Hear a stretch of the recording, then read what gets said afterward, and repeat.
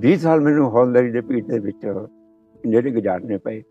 20 ਸਾਲਾਂ 'ਚ ਜਿਹੜੇ ਮੇਥੋਂ ਮੰਗਰੋਂ ਭਰਤੀ ਹੋਏ ਸੀ, ਉਹਨਾਂ ਨੂੰ ਸਾਰਿਆਂ ਨੂੰ ਮੇਰੇ ਤੋਂ ਪਹਿਲਾਂ ਤਰੱਕੀਆਂ ਦਿੱਤੀਆਂ। ਮੈਂ ਇੱਕ ਕੈਂਸਰ ਪੀੜਤ ਹਾਂ। ਮੈਨੂੰ ਆਪਣੀ ਬਿਮਾਰੀ ਦਾ ਨਹੀਂ, ਉਹਨਾਂ ਦੁੱਖ ਹੋਇਆ ਜਿੰਨਾ ਮੈਨੂੰ ਇਹ ਮੇਰੀ ਤਰੱਕੀ ਦਾ। ਹੋਇਆ ਆਊਟ ਆਫ ਟਰਨ ਜਿਹੜੀਆਂ ਤਰੱਕੀਆਂ ਦਿੱਤੀਆਂ ਸੀਗੀਆਂ, ਜਿਹੜੇ ਰੈਗੂਲਰ ਬੰਦੇ ਸੀਗੇ, ਉਹਨਾਂ ਨੂੰ ਨਜ਼ਰਅੰਦਾਜ਼ ਕਰਕੇ ਜਿਹੜੇ 20 ਸਾਲ ਪਿੱਛੋਂ ਦੇ ਭਰਤੀ ਸੀ, ਉਹਨਾਂ ਨੂੰ ਤਰੱਕੀਆਂ ਦਿੱਤੀਆਂ ਗਈਆਂ।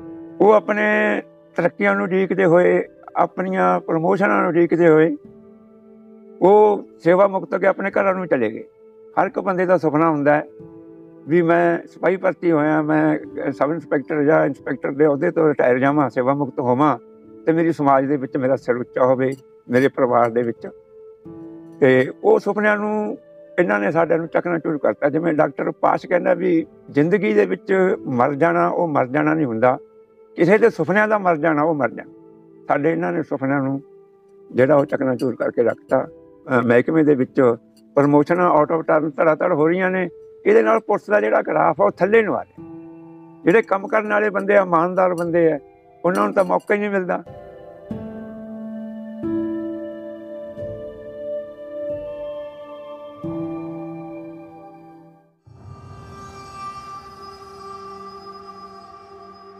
ਹੈਗਾ 22 ਦੇ ਵਿੱਚ ਅਪ੍ਰੈਲ ਦੇ ਵਿੱਚ ਦੋ ਬੈਚ ਚੱਲੇ ਸੀਗੇ ਉਹਦੇ ਚ 166 ਸੀਟਾਂ ਸੀਗੀਆਂ।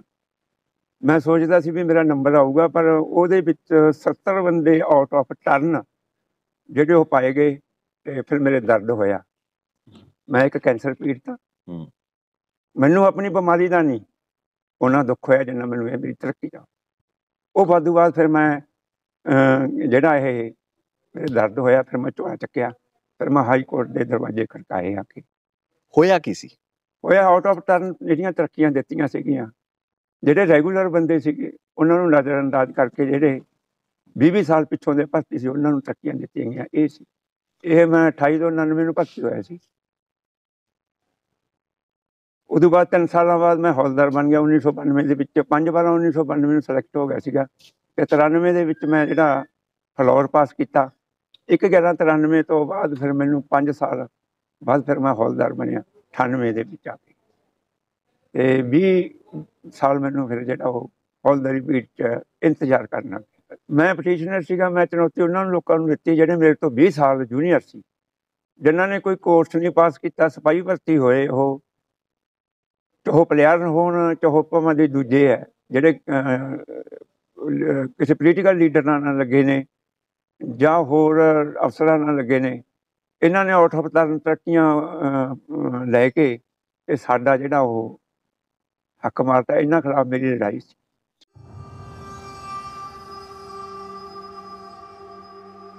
ਉੱਨੀ ਸੌ ਬਾਨਵੇਂ ਤੋਂ ਪਹਿਲਾਂ ਜਿਹੜਾ ਕੁਝ ਵਾਕਿਆ ਵਰਤਿਆ ਉਹ ਪੰਜਾਬ ਦੇ ਵਿੱਚ, ਉਸ ਤੋਂ ਬਾਅਦ ਜਿਹੜਾ ਦੌਰ ਸ਼ੁਰੂ ਹੋਇਆ 1992 ਤੋਂ ਬਾਅਦ ਆਊਟ ਆਫ ਟਰਨ ਟੱਕੀਆਂ ਦਾ। ਇਹ ਇੱਕ ਬਹੁਤ ਮਾੜੀ ਰਵਾਇਤ ਸੀਗੀ ਇਹ, ਜਿਹੜੀ ਸਾਡੇ ਅਫਸਰਾਂ ਨੇ ਪਾਈ। ਤੇ ਇਹ ਇਹਦੇ ਵਿੱਚ ਪੋਲੀਟੀਕਲ ਲੀਡਰ ਵੀ ਆ ਗਏ ਅਫਸਰ ਵੀ ਆ ਗਏ।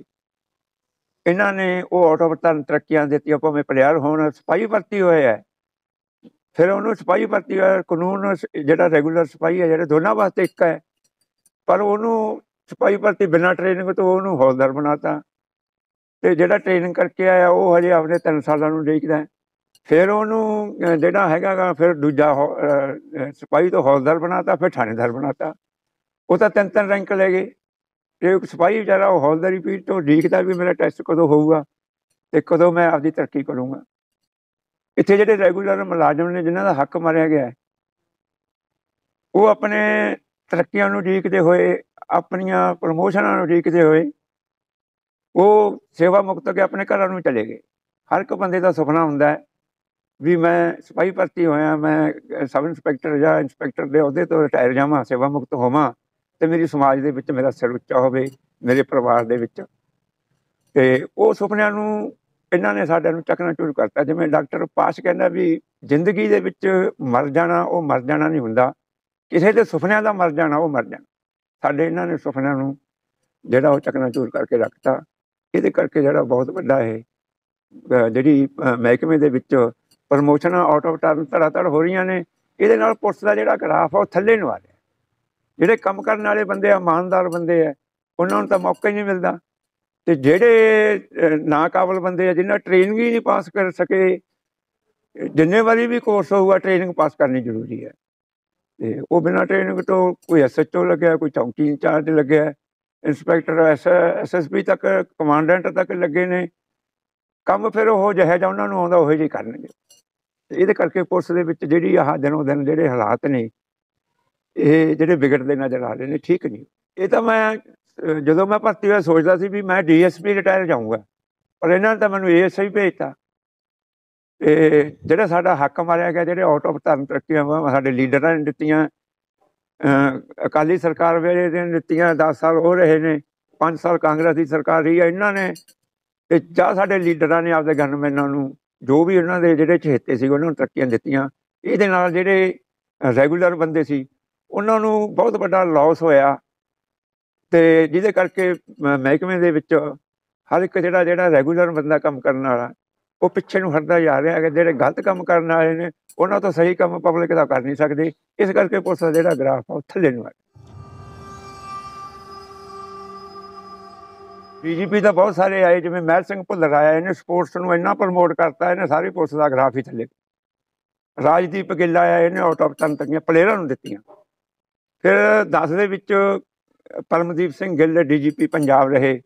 ਇਹਨੇ ਆਪਣੇ ਨੌਵਾਂ ਦਾ, ਨੌਵਾਂ ਮਹੀਨਾ ਸ- ਸਤੰਬਰ, ਅਕਤੂਬਰ, ਦਸੰਬਰ, ਤਿੰਨ ਮਹੀਨਿਆਂ ਦੇ ਵਿੱਚ ਰੈਂਕਾਂ ਦੀ ਨਾ ਇਹਨਾਂ ਨੇ ਝੜੀ ਲਾਤੀ। ਜਿੰਨੀਆਂ ਇਹਨਾਂ ਨੇ ਆਊਟ ਆਫ ਟਰਨ ਪ੍ਰਮੋਸ਼ਨਾਂ ਦਿੱਤੀਆਂ ਨੇ। ਵੀ ਕਈ ਸੈਂਕੜੇ ਇਹਨਾਂ ਦੇ ਆਸੇ ਤਿੰਨ ਮਹੀਨੇ ਦਾ ਸੈਂਕੜੇ ਬੰਦਿਆਂ ਨੂੰ ਪ੍ਰਮੋਸ਼ਨ ਦੇ। ਤੇ ਜਿਹਦੇ ਨਾਲ ਇਹ ਸਾਡੇ ਤੋਂ, ਜਿਹੜਾ ਇਹ ਪਹਿਲਾਂ ਬੰਦੇ ਜੰਪ ਕਰਕੇ ਸਾਡੇ ਤੋਂ ਅੱਗੇ ਆ ਗਏ ਸਾਡਾ ਹੱਕ ਮਾਰ। ਇਹ 1900 ਹਾਂਜੀ 92 ਤੋਂ ਬਾਅਦ ਜਿਹੜਾ ਸਿਲਸਿਲਾ ਸ਼ੁਰੂ ਹੁੰਦਾ, ਗਿੱਲ ਸਾਹਿਬ ਰਹੇ ਸਮੇਤ ਸਿੰਘ ਸੈਣੀ ਰਹੇ। ਸਮੇਤ ਸਿੰਘ ਸੈਣੀ ਸਾਹਿਬ ਨੇ ਵੀ ਆਊਟ ਆਫ ਟਰਨ ਪ੍ਰਮੋਸ਼ਨਾਂ ਦਿੱਤੀਆਂ ਨੇ। ਫਿਰ ਸੁਰੇਸ਼ ਅਰੋੜਾ ਇਹਨਾਂ ਨੇ ਵੀ ਦਿੱਤੀਆਂ ਨੇ। ਧਨਕਰ ਗੁਪਤਾ ਇਹਨਾਂ ਸਾਰਿਆਂ ਨੇ ਦਿੱਤੀਆਂ। ਕਿਸੇ ਨੇ ਨਹੀਂ ਹੋ ਗਿਆ, ਉਦੋਂ ਕਿਸ ਇਹਦਾ ਕਾਰਨ ਸੀਗਾ ਵੀ ਕੋਈ ਜਾਗਿਆ ਨਹੀਂ ਪੰਜਾਬ ਦੇ ਵਿੱਚੋਂ। ਉਹਦਾ ਜਾਗਣ ਦਾ ਕੀ ਕਾਰਨ ਸੀਗਾ? ਇੱਕ, ਦੋ ਦੋ, ਤਿੰਨ, ਚਾਰ ਬੰਦਿਆਂ ਨੂੰ ਦੇ ਦਿੰਦੇ ਸੀਗੇ, ਉਹ ਸਮਾ ਜਾਂਦੀ ਸੀ। ਇਹ ਤਾਂ ਜਦੋਂ 100 100 ਨੂੰ 5 500 ਨੂੰ ਤਰੱਕੀਆਂ ਦਿੱਤੀਆਂ, ਉਦੋਂ ਫਿਰ ਜਿਹੜਾ ਮੈਨੂੰ ਉੱਠ ਕੇ ਜਿਹੜਾ ਅੱਗੇ ਆਉਣਾ ਪਿਆ ਵੀ ਸਾਡੀ ਪੁਲਿਸ ਦੇ ਮੂੰਹ ਤੇ ਚਪੇੜ ਸੀ ਇਹ, ਸਾਡੇ ਪੈਨਸ਼ਨਾਂ ਦੇ ਵੀ, ਜਿਹੜੀਆਂ ਸਾਡੇ ਨਾਲ ਬੇਨਿਜ਼ਮੀਆਂ, ਬੇਧਿਆਨੀਆਂ ਹੋ ਰਹੀਆਂ ਨੇ, ਵੀ ਇਹਨਾਂ ਨੂੰ ਰੋਕੂਗਾ ਕੌਣ? ਫਿਰ ਮੇਰੇ ਦਰਦ ਹੋਇਆ, ਫਿਰ ਮੈਂ ਉੱਠ ਕੇ ਅੱਗੇ ਆਇਆ, ਫਿਰ ਇਹਨਾਂ ਨੂੰ ਮੈਂ ਚੁਣੌਤੀ ਦਿੱਤੀ, ਮਾਨਯੋਗ ਅਦਾਲਤ ਦੇ ਵਿੱਚ। ਤੇ ਜਿਹੜਾ ਇਨਸਾਨ ਸੰਘਰਸ਼ ਦੇ ਰਾਹ ਤੇ ਤੁਰਦਾ ਹੈ ਉਹਦੇ ਬਾਅਦ ਤੇ ਬਹੁਤ ਸਾਰੇ ਰਸਤੇ ਦੇ ਵਿੱਚ ਮੁਸੀਬਤਾਂ ਆਉਂਦੀਆਂ ਨੇ, ਬੜੀਆਂ ਮੁਸ਼ਕਲਾਂ ਆਉਂਦੀਆਂ ਨੇ। ਕਾਨੂੰਨ ਦੇ ਅਨੁਸਾਰ ਲੜਾਈ ਜਿਹੜੀ, ਕਿਵੇਂ ਲੜਨੀ ਹੈ? ਕਿਵੇਂ ਸਾਡਾ ਜਿਹੜਾ ਆਪਣੇ ਵਕੀਲਾਂ ਦੀ ਫੀਸ, ਉਹਨੂੰ ਕਿਵੇਂ ਅਦਾ ਕਰਨਾ ਹੈ? ਮੈਂ ਕੱਲਾ ਸੀਗਾ, ਮੈਂ ਕੱਲੇ ਨੇ ਹੋਕਾ ਦਿੱਤਾ। ਉਸ 20 ਬਾਈ ਪਟੀਸ਼ਨਰ ਮੇਰੇ ਨਾਲ ਅੱਗੇ ਤੇ ਉਹਨਾਂ ਦਾ ਵੀ ਸਾਥ ਰਿਹਾ। ਚਾਰ ਪੰਜ ਵਕੀਲ ਬਦਲ ਕੇ ਫਿਰ ਅਸੀਂ ਇਹ ਕੇਸ ਆ ਜਿਹੜਾ ਉਹ ਜਿੱਤਿਆ। ਜਿੱਤਣ ਤੋਂ ਬਾਅਦ ਅੱਜ ਜਿਹੜਾ ਜਿਹੜਾ ਫੈਸਲਾ ਹੈ, ਲਗਭਗ ਉਹਨੂੰ ਸਵਾ ਛੇ ਮਹੀਨੇ ਹੋ ਚੱਲੇ ਆ।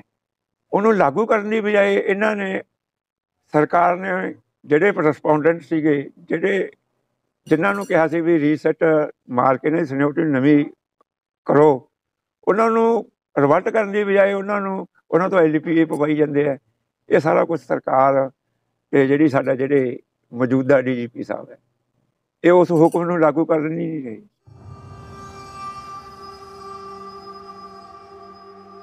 ਮਾਨਯੋਗ ਅਦਾਲਤ ਦੇ ਜਿਹੜੇ ਜਸਟਿਸ ਸੀ ਪੰਕਜ ਜੈਨ ਜੀ, ਉਹਨਾਂ ਨੇ ਇਹ ਫੈਸਲਾ ਸੁਣਾਇਆ ਸੀ 7-8 ਨੂੰ।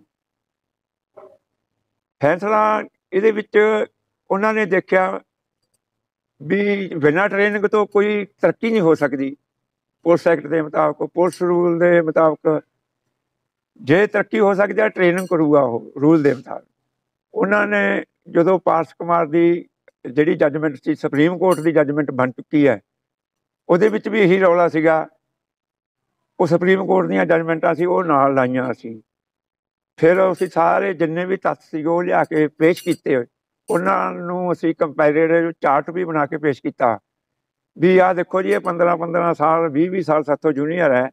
ਤੇ ਫਿਰ ਉਹ ਮਾਨਯੋਗ ਜਸਟਿਸ ਸਾਹਿਬ ਦੇ ਵੀ ਉਹ ਜਿਹੜੀ ਜੱਜ ਗਈ ਗੱਲ ਵੀ ਵਾਕਈ ਇਹਨਾਂ ਨਾਲ ਧੱਕਾ ਹੋਇਆ ਉਹਨਾਂ ਨੇ 7-8 ਫੈਸਲੇ ਜਿਹੜਾ ਸੁਣਾਇਆ ਉਹਦੇ ਵਿੱਚ ਸਾਫ਼ ਸ਼ਬਦਾਂ 'ਚ ਲਿਖਿਆ ਹੈ ਵੀ ਜਿੰਨੀਆਂ ਹੁਣ ਤੱਕ ਜਿੰਨੇ ਵੀ ਡੀਜੀਪੀ ਰਹੇ ਨੇ 13 21 ਦੀ ਜਿਹਨੇ ਗੈਰ ਅਹ, 13 21 ਦੀਆਂ ਪਾਵਰਾਂ ਵਰਤ ਕੇ ਆਊਟ ਆਫ ਟਰਨ ਤਰੱਕੀਆਂ ਦਿੱਤੀਆਂ ਨੇ ਤੇ ਇਹ ਗੈਰ ਕਾਨੂੰਨੀ ਨੇ ਮੈਂ ਇਹਨਾਂ ਨੂੰ ਰੱਦ ਕਰਨਾ ਸਾਰੇ ਹੁਕਮਾਂ ਨੂੰ ਉਹਨਾਂ ਨੇ ਰੱਦ ਕਰਤਾ ਆਪਣੇ ਫੈਸਲੇ ਉਹ ਜਦੋਂ ਉਹਨਾਂ ਨੇ ਐਲਪੀਏ ਪਾਤੀਆਂ ਜਿਹੜਾ ਨਰਪਿੰਦਰਪਾਲ ਸਿੰਘ ਹੈ ਉਹਨੇ ਐਲਪੀਏ ਪਾਈ ਮੇਨ ਕੇਸ ਦੇ ਵਿੱਚ।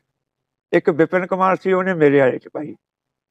ਉਹਦਾ ਰੀਜ਼ਨ ਸੀਗਾ ਵੀ ਇੱਕ ਜਿਹੜਾ 10873 ਲੀਟਰ ਦੇ ਵਿੱਚ ਇੱਕ ਸ਼ਾਮ ਲਾਲ ਹੈ ਸਬ ਇੰਸਪੈਕਟਰ ਬਣ ਗਏ ਹੁਣ ਉਹ। ਉਹ ਸ਼ਾਮ ਲਾਲ ਤਾਂ ਮੇਰੇ ਨਾਲ ਦਾ ਹੀ ਭੱਤੀ ਹੈ। ਮੇਰੇ ਨਾਲ ਦਾ ਹੀ ਉਹ ਸਾਰਾ ਕੁਝ ਫਲੋਰ ਪਾਸ ਦੋਰ ਪਾਸ ਕਰਕੇ ਆਏ ਨੇ। ਉਹ ਬੰਦਾ ਅਹ, 2007 ਦੇ ਵਿੱਚ ਲੋਰ ਕਰਕੇ ਆਉਂਦਾ ਹੈ। 9 ਦੇ ਵਿੱਚ ਹੌਲਦਾਰ ਬੰਦਾ ਹੈ।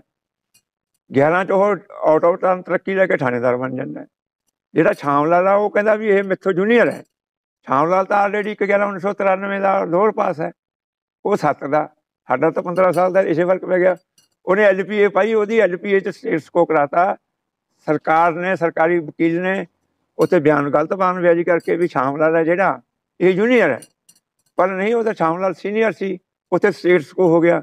ਦੋ ਐਲਪੀਏ ਤੇ ਹੋਇਆ। ਮੇਰੀ ਤੇ ਨਹੀਂ ਹੋਇਆ। 2778 ਤੇ ਨਹੀਂ ਹੋਇਆ। ਫਿਰ ਉਹ ਮੈਂ ਪੰਜਾਬ ਦਾ ਪਹਿਲੇ ਇੱਕ ਇਨਸਾਨ ਹੈ ਥਾਣੇਦਾਰ ਹੈ ਜਿਨੇ ਮਾਨਯੋਗ ਚੀਫ ਜਸਟਿਸ ਦੇ ਹੁਕਮ ਨੂੰ ਚੁਣੌਤੀ ਦਿੱਤੀ ਚੈਲੰਜ ਕੀਤਾ ਵੀ ਇਹ ਜਿਹੜਾ ਸਟੇਟਸ ਕੋ ਹੈ ਇਹ ਗਲਤ ਕੀਤਾ ਹੈ। ਕੀ ਹੋਇਆ ਫਿਰ? ਹੋਇਆ ਫਿਰ ਕੀ ਆ ਉਹਨਾਂ ਨੇ ਜਦੋਂ ਮੇਰੀ ਮੈਂ ਤੇ ਐਪਲੀਕੇਸ਼ਨ ਲਾਤੀ 4 ਜਨਵਰੀ ਨੂੰ 8 ਨੂੰ ਮੇਰੀ ਸੁਣਵਾਈ ਹੋਈ ਆਪਣਾ ਜਿਹੜਾ ਉਹਨਾਂ ਨੇ ਦਿੱਤਾ ਹੋਇਆ ਸੀਗਾ ਸਟੇਟਸ ਕੋ ਉਹਦੇ ਆਪਣੇ ਆਰਡਰ ਨੂੰ ਰੀਕਾਲ ਕਰ ਲਿਆ ਮੇਰੀ ਬੇਨਤੀ ਨੂੰ ਪ੍ਰਵਾਨ ਕਰ ਲਿਆ। ਉਦੋਂ ਬਾਅਦ ਇਹਨਾਂ ਨੇ ਇੱਕ opinion ਲਈ ਡੀਜੀਪੀ ਦਫ਼ਤਰ ਸਾਹਿਬ ਦੇ ਜਿਹੜੇ ਹੈਗੇ ਸੀਗੇ ਮੁਲਾਜ਼ਮਾਂ ਵੱਲੋਂ ਅਫਸਰਾਂ ਵੱਲੋਂ ਹੀ ਲਈ ਗਈ ਹੈ ਵੀ ਜਿਹੜੇ ਅਹ, 57 ਬੰਦੇ ਰਿਟ ਦੇ ਵਿੱਚ ਚੈਲੰਜ ਕੀਤੇ ਗਏ ਨੇ ਵੀ ਉਹਨਾਂ ਨੂੰ ਛੱਡ ਕੇ ਬਾਕੀਆਂ ਨੂੰ ਜਿਹੜਾ ਪ੍ਰਮੋਸ਼ਨ ਕਰ ਦਿਓ ਦੇਖੋ ਉਹ ਨਾ ਤਾਂ ਹਾਈ ਕੋਰਟ ਦੇ ਹੁਕਮਾਂ ਨੂੰ ਸਮਝਦੇ ਆ ਨਾ ਉਹ ਪੁਲਿਸ ਰੂਲ ਨੂੰ ਮੰਨਦੇ ਆ ਨਾ ਉਹ ਪੁਲਿਸ ਐਕਟ ਨੂੰ ਮੰਨਦੇ ਆ ਨਾ ਉਹ ਸੁਪਰੀਮ ਕੋਰਟ ਨੂੰ ਮੰਨਦੇ ਆ ਉਹਦਾ ਕਾਰਨ ਕੀ ਹੈ? ਵੀ ਉਹ ਆਪਣੀ ਨਲੈਕੀ ਛਪਾਉਂਦੇ ਆ। ਆਪਣੀਆਂ ਜਿਹੜੀਆਂ ਪਾਵਰਾਂ ਨੇ 13 21 ਦੀਆਂ, ਵੀ ਇੱਕ ਤਾਂ ਉਹ ਬਿਡਰਾ ਹੋ ਗਈਆਂ, ਉਹ ਰੱਦ ਕਰਤੀਆਂ ਮਾ- ਮਾਨਯੋਗ ਅਦਾਲਤ ਨੇ। ਦੂਜਾ ਉਹ ਕਹਿੰਦੇ ਵੀ ਇਹ ਸਾਨੂੰ ਰਿਵਲਟ ਨਹੀਂ ਕਰਨ ਦੀ ਬਜਾਏ ਨਵੀਂ opinion ਲਈ ਹੈ ਜਦੋਂ ਕੋਈ ਜੱਜਮੈਂਟ ਦੇ ਵਿੱਚ 7-8 ਦੇ ਫੈਸਲੇ ਦੇ ਵਿੱਚ ਸਾਫ਼ ਲਿਖਿਆ ਹੈ ਵੀ ਜਿੰਨੀਆਂ 13 21 ਚ ਪ੍ਰਮੋਸ਼ਨਾਂ ਹੋਈਆਂ ਨੇ, ਉਹਨਾਂ ਨੂੰ ਮੈਂ ਗੈਰ ਕਾਨੂੰਨੀ ਕਰਾਰ ਦਿੰਦਾ ਤੇ ਰੱਦ ਕਰਦਾ। ਤੇ ਨਵੇਂ ਸਿਰੋਂ ਜਿਹੜੀ ਸੁਣਿਓਟੀ ਆ ਉਹ ਰੀਕਾਸਟ ਕੀਤੀ ਜਾਵੇ ਜਿੱਥੇ ਇਹਨਾਂ ਦਾ ਹੱਕ ਬਣਦਾ ਉਹ ਇਹਨਾਂ ਨੂੰ ਦਿੱਤਾ ਜਾਵੇ। ਇਹਦੇ ਨਾਲ ਜਦੋਂ ਮੈਂ ਸ਼ੁਰੂ ਚ ਹੋਇਆ ਸੀ ਮੇਰੇ ਨਾਲ ਬਾਈ ਪਟੀਸ਼ਨਰ ਸੀਗੇ। ਜਦੋਂ 7-8 ਦੇ ਫੈਸਲੇ ਤੱਕ ਇਹ ਬਾਈ ਦੇ ਬਾਈ ਮੇਰੇ ਨਾਲ ਰਹੇ। ਜਦੋਂ ਇਹਨਾਂ ਨੇ ਸਟੇਟਸ ਕੋ ਦਿੱਤਾ ਸਾਰੀ ਉਹ ਜਿਹੜੇ ਮੇਰੇ ਬਾਈ ਪਟੀਸ਼ਨਰ ਸੀ ਉਹਨਾਂ ਨੂੰ ਆਇਆ ਵੀ ਹੁਣ ਤਾਂ ਸਟੇਟਸ ਕੋ ਹੋ ਗਿਆ। ਉਹਨਾਂ ਨੇ ਕੁਝ ਕਰਨ ਦੀ ਬਜਾਏ ਉਹ ਮੇਰੇ ਨਾਲ ਮੇਰਾ ਵੀ ਸਾਥ ਛੱਡ ਗਏ। ਫਿਰ ਮੈਂ ਅਹ, ਇਕੱਲਾ। ਫਿਰ ਮੇਰੇ ਦਿਲ ਨੂੰ ਹੋਰ ਠੇਸ ਪਹੁੰਚੀ ਵੀ ਯਾਰ ਇਹ ਤਾਂ ਮਾੜੀ ਗੱਲ ਕੀਤੀ। ਆਰਡਰ ਮੇਰਾ ਕਿਉਂ ਇਹਨਾਂ ਨੇ ਮੇਰੇ ਤੇ ਸਟੇਟਸ ਕੋ ਕੀਤਾ ਜਦੋਂ 5 12 ਨੂੰ ਜਿਹੜਾ ਅਹ, 23 ਨੂੰ ਫੈਸਲਾ ਸਟੇਟਸ ਕੋ ਕੀਤਾ ਉਹ 4 ਜਨਵਰੀ ਨੂੰ ਮੈਂ ਐਪਲੀਕੇਸ਼ਨ ਦਾਇਰ ਕੀਤੀ 8 ਇੱਕ ਨੂੰ ਉਹਦੀ ਸੁਣਵਾਈ ਹੋਈ। ਵੀ ਮੈਂ ਉਹਨੂੰ ਚੁਣੌਤੀ ਦਿੱਤੀ ਫੈਸਲੇ ਨੂੰ ਵੀ ਇਹ ਗਲਤ ਹੈ, ਜਿਹੜਾ ਆਰਡਰ ਹੈ ਜਿਹੜਾ ਉਹ ਗਲਤ ਕੀਤਾ ਹੈਗਾ ਤੇ ਫਿਰ ਉਹ ਮਾਨਯੋਗ ਅਦਾਲਤ ਨੇ ਫਿਰ ਮੇਰੇ ਉਸ ਨੂੰ ਬੇਨਤੀ ਨੂੰ ਜਿਹੜਾ ਸਵੀਕਾਰ ਕੀਤਾ ਤੇ ਆਰਡਰ ਨੂੰ ਰੀਕਾਲ ਕੀਤਾ। ਹੁਣ 14 ਨੂੰ ਦੇਖਦੇ ਹਾਂ ਵੀ ਕੀ ਫੈਸਲਾ ਹੋ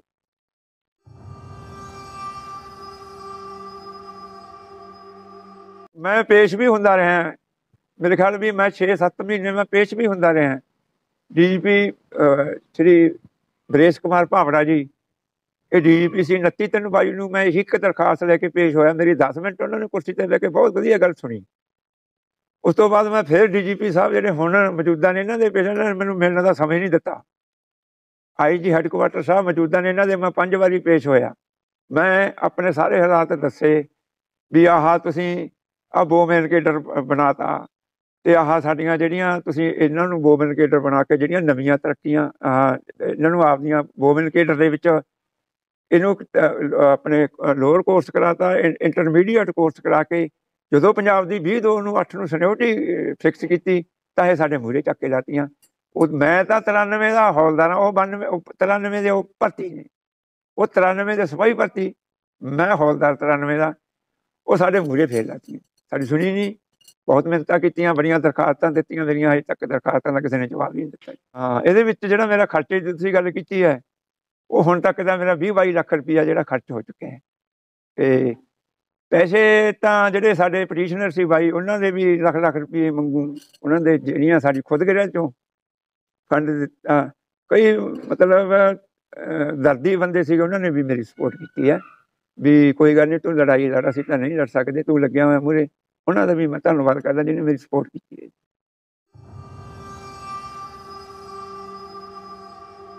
ਹਾਂਜੀ, ਬੜੀ ਉਮੀਦ ਸੀਗੀ ਜੀ, ਸਾਡੇ ਉਹ ਐਸਐਸਪੀ ਮਾਨਸਾ ਰਹੇ ਸੀਗੇ 92 ਤਰ- ਅਹ 93 ਦੇ ਵਿੱਚ।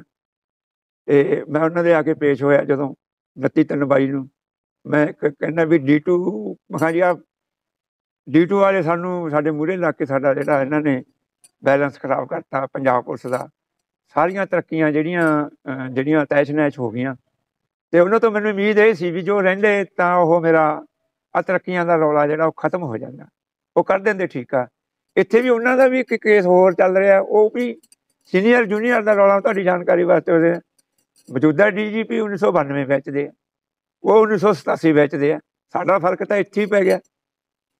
ਪਰ ਡੀਜੀਪੀ ਨਾਲ ਵੀ ਧੱਕਾ ਹੀ ਹੋ ਰਿਹਾ ਤੁਸੀਂ ਧੱਕਾ ਹੋ ਰਿਹਾ ਜੀ ਧੱਕਾ ਹੋ ਰਿਹਾ। ਦੇਖੋ ਦੇਖੋ ਸਾਨੂੰ ਕਿੱਥੇ ਇਨਸਾਫ ਮਿਲੇਗਾ ਜਿਹੜੇ ਅਫਸਰਾਂ ਨਾਲ ਧੱਕਾ ਹੋਈ ਜਾਂਦੇ ਅਸੀਂ ਤਾਂ ਫਿਰ ਲੋਅਰ ਲੈਵਲ ਦੇ। ਨਹੀਂ ਕਿਤੇ ਨਹੀਂ ਹੋ ਰਿਹਾ ਐਸੇ ਸਟੇਟ 'ਚ ਹੀ ਹੋ ਰਿਹਾ ਪੰਜਾਬ ਦੇ ਵਿੱਚ। ਇਹਦੇ ਵਿੱਚ ਸਾਡੇ ਪੋਲੀਟੀਸ਼ੀਅਨ ਮੌਜੂਦਾ ਸਰਕਾਰਾਂ ਸਾਡੇ ਆਲਾ ਅਧਿਕਾਰੀ ਜਿਹੜੀਆਂ ਕਾਨੂੰਨ ਦੀਆਂ ਕਾਨੂੰਨ ਦੀ ਵਾਇਓਲੇਸ਼ਨ ਕਰਕੇ ਗਲਤ ਵਰਤੋਂ ਕਰਕੇ ਆਪਣੀਆਂ ਪਾਵਰਾਂ ਦਾ ਮਿਸਯੂਜ਼ ਕਰਕੇ ਜਿਹੜੇ ਕੰਮ ਕਰਨ ਵਾਲੇ ਪੰਜਾਬ ਪੁਲਿਸ ਦੇ ਵਿੱਚ ਵਧੀਆ ਕੰਮ ਕਰਨ ਵਾਲੇ ਬੰਦੇ ਆ ਉਹਨਾਂ ਨੂੰ ਨਜ਼ਰਅੰਦਾਜ਼ ਕੀਤਾ ਗਿਆ। ਹੈ।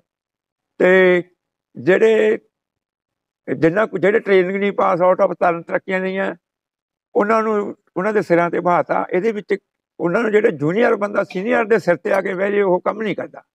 ਉਹਦੇ ਵਿੱਚ ਮਜੂਸੀ ਪਾਈ ਜਾਂਦੀ ਹੈ ਸੀਨੀਅਰ ਮੁਲਾਜ਼ਮ ਚ। ਵੀ ਇੱਕ ਕੱਲ ਦਾ ਸਿਪਾਹੀ 20 ਸਾਲ ਮੇਥੋਂ ਅਹ, ਭਰਤੀ ਹੋਇਆ ਤੇ ਮੇਰੇ ਸਿਰ ਤੇ ਆ ਕੇ ਬਹਿ ਗਿਆ। ਮੈਂ ਉਹਨੂੰ ਸਲੂਟ ਮਾਰਨਾ ਉਹਦੇ ਵਿੱਚ ਪੀਪੀਆਰ ਦਾ ਜਿਹੜਾ ਸੀਨੀਅਰ ਬੰਦਾ ਹੈ, ਪੁਲਿਸ ਰੂਲ ਮੁਤਾਬਕ ਜਿਹੜਾ ਜੂਨੀਅਰ ਸੀਨੀਅਰ ਨੂੰ ਸਲੂਟ ਮਾਰੂਗਾ, ਇੱਥੇ ਉਲਟ ਹੋ ਗਿਆ। ਇੱਥੇ ਜਿਹੜਾ ਜੂਨੀਅਰ ਆ, ਉਹ ਸੀਨੀਅਰ ਤੋਂ ਸਲੂਟ ਮਰਵਾਉਂਦਾ ਉਹ ਕੰਮ ਕਿਵੇਂ ਕਰੂਗਾ ਜੀ? ਉਹਨੂੰ ਉਹਦਾ ਹੱਕ ਹੀ ਨਹੀਂ ਮਿਲਿਆ। ਜਿਹੜੇ ਹੱਕ, ਜਿਹੜੇ ਜਿਨ੍ਹਾਂ ਦੇ ਹੱਕ ਖਾਦੇ ਗਏ, ਉਹ ਤੁਰੇ ਫਿਰਦੇ ਆ, ਜਿਹੜੇ ਲੈ ਕੇ ਤਰੱਕੀਆਂ। ਇਹਨਾਂ ਨੇ ਆਊਟ ਆਫ ਟਰਨ ਤਰੱਕੀਆਂ ਕੇ ਜਿਹੜਾ ਸਾਰੀ ਪੰਜਾਬ ਪੁਲਿਸ ਦੀਆਂ ਜਿਹੜੀ ਜਿਹੜੀ ਸੀਨੀਅਰ ਤਾਂ ਸੂਚੀ ਸੀ ਜੇ ਸਹੀ ਕੰਮ ਕਰਨ, ਫਿਰ ਕੋਰਟਾਂ 'ਚ ਜਾਣ ਦੀ ਲੋੜ ਨਾ ਪਏ ਮੁਲਾਜ਼ਮ। ਸਾਡੇ ਅਫਸਰ ਵੀ ਨਹੀਂ ਕਰਦੇ ਤੇ ਸਾਡੇ ਸਿਆਸਤ ਵੀ ਸਾਡੇ ਜਿਹੜੇ ਪੋਲੀਟੀਸ਼ੀਅਨ ਨੇ। ਇਹਦੇ ਵਿੱਚ ਕਾਰਨ ਇਹ ਆ ਦੋਨੇ ਕਾਰਨ ਨੇ ਜੀ। ਕੁਛ ਤਾਂ ਜਿਹੜੇ ਚਹੇਤੇ ਨੇ, ਅਫਸਰਾਂ ਨਾਲ ਲੱਗੇ ਆ ਗਨਮੈਨ ਲੱਗਿਆ ਕੋਈ ਰੀਡਰ ਲੱਗਿਆ ਅਰਦਲੀ ਤੱਕ। ਮੈਂ ਸਾਨੂੰ ਪੱਠੇ ਪਾਉਣ ਵਾਲੇ, ਜਿਹੜੇ ਅਫਸਰਾਂ ਦੀਆਂ ਕੋਠੀਆਂ 'ਚ ਕੰਮ ਕਰਨ ਵਾਲੇ 50% ਤਾਂ ਇਹ ਨੇ। ਇਹਨਾਂ ਨੂੰ ਤੱਕੀਆਂ ਦਿੱਤੀਆਂ ਜਾਂਦੀਆਂ। 50 ਕੁ ਦੂਜੇ ਆ ਜਾਂਦੇ ਆ ਪੈਸਿਆਂ ਵਾਲੇ। ਉਹ ਪੈਸੇ ਦੇ ਜ਼ੋਰ ਤੇ ਲੈ ਜਾਂਦੇ ਜਿਹੜੇ ਅਸਲੀ ਬੰਦੇ ਮੇਰੇ ਵਰਗੇ ਕੰਮ ਕਰਨ ਵਾਲੇ ਉਹਨਾਂ ਨੂੰ ਤਾਂ ਲਵੀ ਨਹੀਂ ਲੱਗਣ ਦਿੰਦੇ। ਇਹ ਸਾਰਾ ਕੁਝ ਆਹੀ ਦੇਣਾ ਇਹਨਾਂ ਦੀ। ਪਹਿਲਾਂ ਸਭ ਤੋਂ ਪਹਿਲਾਂ ਜੀ ਸਿਪਾਹੀ ਭਰਤੀ ਹੁੰਦਾ ਇੱਕ ਕਨਸਟੇਬਲ ਭਰਤੀ ਹੁੰਦਾ ਫਿਰ ਉਹਦਾ ਪਰਖ ਕਾਲ ਦਾ ਸਮਾਂ 3 ਸਾਲ ਹੁੰਦਾ ਹੈ। ਤਿੰਨ ਸਾਲ ਜਦੋਂ ਉਹਦੀ ਅੰਡਰ 3 ਟੁੱਟ ਜਾਂਦੀ ਹੈ ਫਿਰ ਸਾਡਾ ਇੱਕ B1 ਦਾ ਟੈਸਟ ਹੁੰਦਾ ਹੈ, ਹੌਲਦਾਰ ਬਣੋ। ਫਿਰ ਜਿੰਨੇ ਵੀ ਉਹ B1 ਟੈਸਟ ਪਾਸ ਕਰਦੇ ਆ, ਉਹਨਾਂ ਦੀ ਮੈਟ ਬਣਾਈ ਜਾਂਦੀ ਹੈ। ਜੇ 100 ਬੰਦੇ ਨੇ ਟੈਸਟ ਦਿੱਤਾ 50 ਪਾਸ ਹੋਏ 50 ਦੇ ਵਿੱਚੋਂ ਜੇ ਸੀਟਾਂ 50 ਨੇ, ਫਿਰ ਤਾਂ ਉਹਨਾਂ ਨੂੰ 50 ਨੂੰ ਹੀ ਕੀਤਾ ਜਾਊਗਾ। ਜੇ ਸੀਟਾਂ 40 ਆ, ਫਿਰ ਉਹਨਾਂ ਦੀ ਮੈਟ ਬਣਾਈ ਜਾਊਗੀ। ਫਿਰ ਉਹ ਫਲੋਰ ਜਿਹੜੇ ਦੋ ਬੈਚ ਚੱਲਣੇ ਆ ਜਾਂ ਇੱਕ ਚੱਲਣਾ ਹੈ, ਸਾਰੇ ਪੰਜਾਬ ਦੀ ਵੰਡ ਕੀਤੀ ਜਾਂਦੀ ਹੈ। ਸਾਰੇ ਜ਼ਿਲ੍ਹਿਆਂ ਚੋਂ 10 10 20 20 ਕਰਕੇ ਉਹ ਬੈਚ ਆ ਜਿਹੜਾ ਉਹ ਬੁਲਾਇਆ ਜਾਂਦਾ ਫਿਰ ਜਦੋਂ ਲੋਅਰ ਸਕੂਲ ਪਾਸ ਕਰਦਾ ਹੈ ਫਿਰ ਉਹ ਦੂਜੀ ਲਿਸਟ ਆ ਜਾਂਦੀ C1 C1 ਦੇ ਵਿੱਚੋਂ ਫਿਰ ਜਦੋਂ ਹੌਲਦਾਰ ਦੀਆਂ ਸੀਟਾਂ ਵਿਹਲੀਆਂ ਹੁੰਦੀਆਂ ਨੇ, ਫਿਰ ਉਹਨੂੰ ਆਫੀਸ਼ੀਏਟਿੰਗ ਹੀ ਹੌਲਦਾਰੀ ਦੇ ਜਿਹੜੇ ਅਹੁਦੇ ਤੇ ਪ੍ਰਮੋਟ ਕੀਤਾ ਜਾਂਦਾ ਫਿਰ 5-6 ਸਾਲਾਂ ਦੇ ਵਿੱਚ ਉਹ ਕਨਫਰਮ ਹੁੰਦਾ ਹੈ।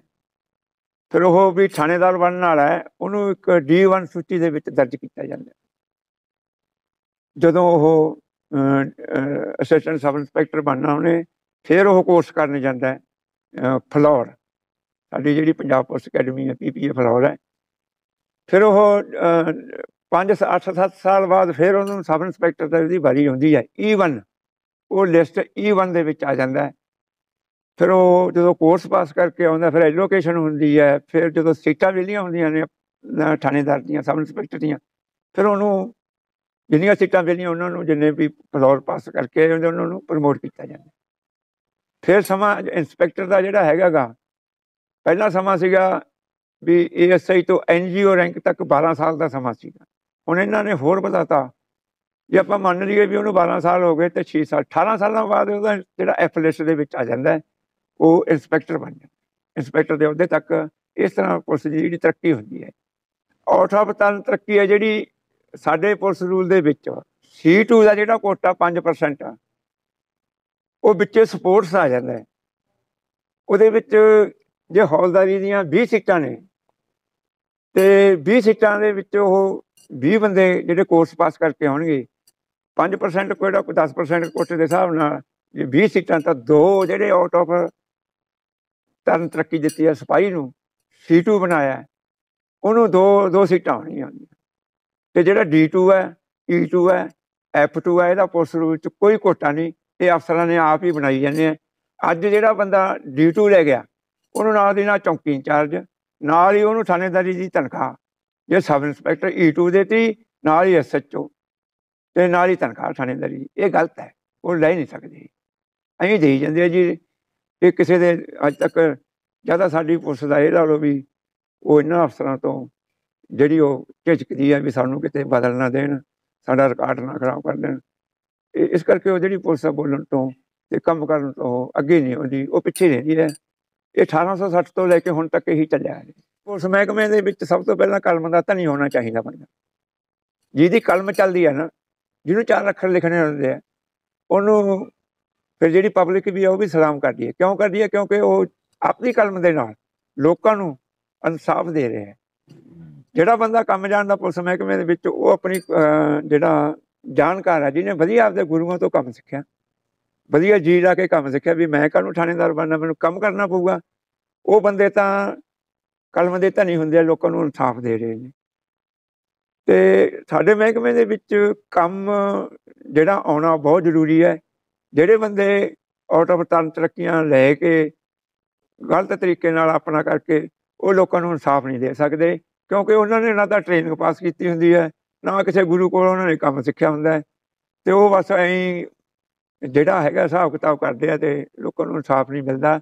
ਲਿਟੀਗੇਸ਼ਨ ਵੀ ਇਹੀ ਵਧੀਆਂ ਪਬਲਿਕ ਦੇ ਵਿੱਚ ਜਿਹੜੀਆਂ ਥਾਣਿਆਂ ਦੀਆਂ ਦਰਖਾਸਤਾਂ ਆਉਂਦੀਆਂ ਨੇ, ਇੰਨੀਆਂ ਪੈਂਡਿੰਗ ਪਈਆਂ ਵੀ ਉਹ ਜੇ ਕੰਮ ਜਾਣਦੇ ਹੋਣਗੇ ਫਿਰ ਤਾਂ ਮਿੰਟਾਂ 'ਚ ਦੀ ਰਿਪੋਰਟ ਕਰ ਦੂਗਾ। ਮੇਰੇ ਵਰਗੇ ਨੂੰ ਫੜਾ ਦੇ, ਮੈਂ ਛਾਲਾਂ ਮਾਰਦਾ ਜਾਊਂਗਾ ਵੀ ਲਿਆ ਭਾਈ, ਆ ਜਾ ਤੇਰਾ ਕੰਮ ਕਰਨਾ।